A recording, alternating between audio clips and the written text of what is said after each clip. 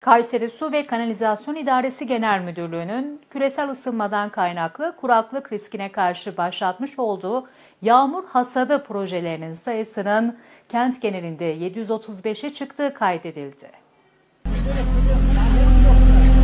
Kayseri Büyükşehir Belediyesi Su ve Kanalizasyon İdaresi Genel Müdürlüğü, yaptığı çalışmalarla suyun doğru kullanılması, tasarruf tedbirleri gibi konularda önemli çalışmalara imza atarken, dünya genelinde iklim kriziyle yaşanabilecek kuraklık tehlikesine karşı başlatılan yağmur hasadı projelerinin sayısını her geçen gün arttırıyor.